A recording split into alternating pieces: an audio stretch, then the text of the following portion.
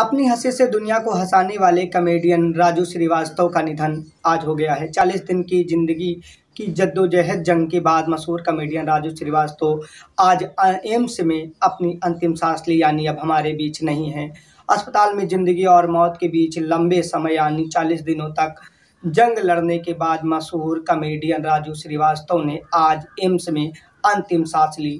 वो पिछले चालीस दिनों से अस्पताल में ज़िंदगी और मौत के बीच जंग लड़ रहे थे। डॉक्टरों द्वारा लगातार उनकी स्वास्थ्य की बेहतर करने की कोशिशों के साथ साथ बचाने की कोशिश की जा रही थी। दुनिया को हंसाने वाला आज दुनिया छोड़कर चला गया है। पिछले चालीस दिनों से अस्पताल में भर्ती, वो जिम वर्कआउट कर रहे थे, इसी बीच उन्हें हार्ट अटैक आई और बेसुध हो गए। लेकिन 10 अगस्त से उन्हें वर्कआउट के दौरान हार्ट अटैक के बाद से कोई सुध न आई। तब से दिल्ली एम्स में इलाज चल रहा है, लेकिन मशहूर कॉमेडियन राजू श्रीवास्तव की आधिकारिक पुष्टि हो गई है कि वो हमारे बीच नहीं है।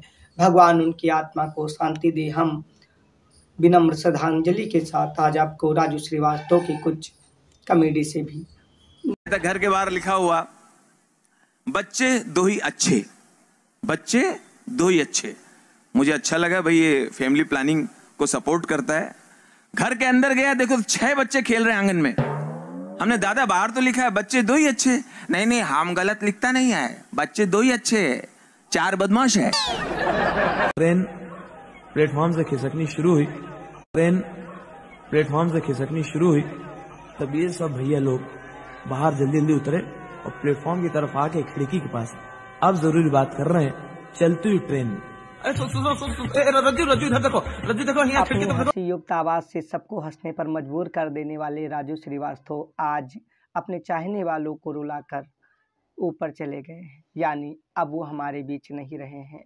वो जिम में वर्कआउट कर रहे थे। इसी दरमियान 10 अगस्त को उन्हें हार्ट अटैक आई जिसके बाद लगा कि स्थिति सुधर जाएगी लेकिन तब से निरंतर संघर्ष के बाद यमपुर प्रस्थान कर गए भगवान आत्मा को